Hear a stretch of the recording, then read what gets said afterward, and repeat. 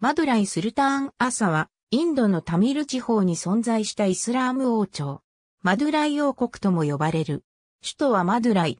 ジャラールッディーン・アフサン・シャーのコイン14世紀初頭、デリー・スルターン朝のトゥグルク朝の時代、その君主、ムハンマド・ビン・トゥグルクは、ダウラターバード遷都などの失政を重ね、各地は不穏な状況となった。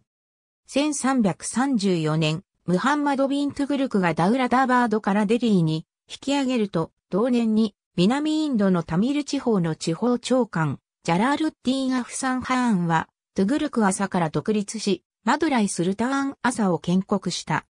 ムハンマド・ビン・トゥグルクは軍を率いて、この反乱を鎮圧しようとしたが、タミル地方に到着する前に、軍の大部分が伝染病にかかったため、この地域はトゥグルク朝の支配から離れた。